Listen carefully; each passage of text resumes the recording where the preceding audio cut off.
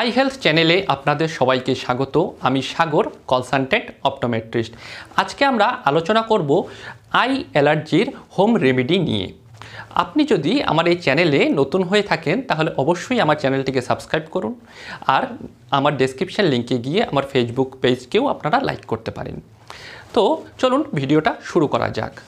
I allergy সাধারণত আমাদের কোনো না কোনো সময় হয়েছে আর অনেকেরও আছে যে এখনও কন্টিনিউ আই অ্যালার্জিতে ওনাদের ভুগতে হয়। তো আই অ্যালার্জি ছোট, বড় কিন্তু সবারই হয়ে থাকে, কিন্তু দেখা যায় যে ছোটদের ক্ষেত্রে আই অ্যালার্জিটা একটু বেশি পরিমাণে হয়ে থাকে। তো আপনারা একটু লক্ষ্য করলে দেখতে পারবেন যে সন্ধেবেলার দিকে সাধারণত আমাদের চোখটা কিন্তু বেশি চুলকয়। আর কি হয়, এই চুলকোনোর জন্য আমরা যখন আমরা আর সহ্য করতে পারি না, তখন আঙুল দিয়ে কিন্তু আমরা চোখটাকে কিন্তু ঘষে দিই। আর এই ঘষে দেওয়ার জন্য কি হয়, আমাদের চোখের চুলকোনোর পরিমাণটা কিন্তু আরও অনেক বেশি বেড়ে যায়।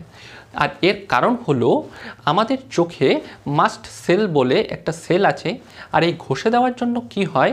সেই সেল থেকে হিস্টামিন বলে একটা কেমিক্যাল কম্পোনেন্ট রিলিজ হয়। আর এই কেমিক্যাল কম্পোনেন্টটা রিলিজ হওয়ার জন্যই কিন্তু আমাদের চোখের চুলকোনোটা কিন্তু অনেক বেশি বেড়ে যায়। তো আমরা এই চোখ চুলকোনোর অর্থাৎ অ্যালার্জির জন্য আমরা অ্যান্টি অ্যালার্জিক কিন্তু আইড্রপ ইউজ করে থাকি। তো দেখা যায় যে যতদিন আমরা এই অ্যান্টি অ্যালার্জিক আইড্রপটা ইউজ করছি, ততদিন চোখে কিন্তু চুলকোনোটা থাকে না। আর যখনই আমরা আইড্রপটা ইউজ করা বন্ধ করে দিই, দেখা যায় যে চুলকোনো কিন্তু আবার আগের মতো ফিরে আসে। তো এই আইড্রপ সাধারণত আমরা খুব বেশি হলে তিন মাস কিন্তু আমরা ইউজ করতে পারি, এর বেশি কিন্তু কন্টিনিউ ইউজ করা যায় না। তো তার জন্য আজকে আমি আপনাদের কাছে আমার এই হোম রেমেডিটা নিয়ে এসেছি। তো চলুন দেখে নেওয়া যাক এই হোম রেমেডিটা কী। হোম রেমেডিটা হলো যে ঠান্ডা জলে সেক দেওয়া। আমরা যেমনি গরম জলের সেক চোখে দিয়ে থাকি, ঠিক তেমনভাবেই আমরা চোখে ঠান্ডা জলে সেক দেব। তো তার জন্য কি করতে হবে? একটা পাত্রে ঠান্ডা জল নিয়ে তার মধ্যে র্যাশ ছাড়া কটনের কাপড় ডুবিয়ে জলটা পুরোপুরিভাবে নিংড়ে নিয়ে আমরা চোখে 10 থেকে পনেরো মিনিট, দিনে দু থেকে তিনবার ঠান্ডা জলে সেক দিতে হবে। আর আমি এখানে র্যাশ ছাড়া কটনের কাপড় বলার কারণ হলো যে র্যাশগুলো যদি আমাদের চোখে সেক দেওয়ার সময় যদি ঢুকে যায়, তাহলে কিন্তু আপনাদের চুলকোনোর পরিমাণ বেড়ে যেতে পারে।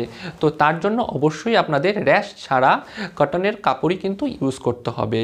আরেকটা কাজ আপনারা করতে পারেন, একটা কটনের কাপড় নিয়ে জলে ভিজিয়ে জলটাকে নিংড়ে নিয়ে আপনারা ফ্রিজে কিছুক্ষণ রেখে দিতে পারেন। যতক্ষণ না কাপড়টা পুরোপুরিভাবে ঠান্ডা হচ্ছে, আপনারা কিন্তু সেই কাপড় দিয়েও কিন্তু চোখে কিন্তু সেক দিতে পারেন।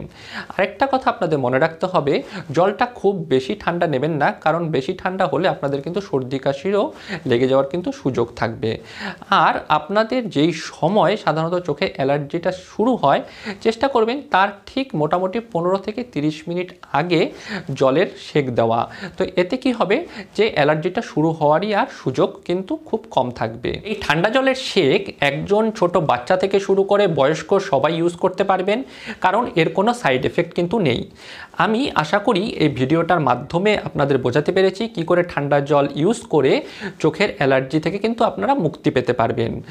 আর যদি কোনো কারণে যদি চুলকোনো যদি না কমে, তাহলে অবশ্যই চোখের ডাক্তারের সাথে যোগাযোগ করবেন। এই ভিডিওটা যদি আপনাদের উপকারে এসে থাকে, তাহলে অবশ্যই আমার চ্যানেলটিকে সাবস্ক্রাইব করবেন। তো দেখা হচ্ছে পরবর্তী ভিডিওতে। সুস্থ থাকবেন, ভালো থাকবেন, চোখের যত্ন নেবেন।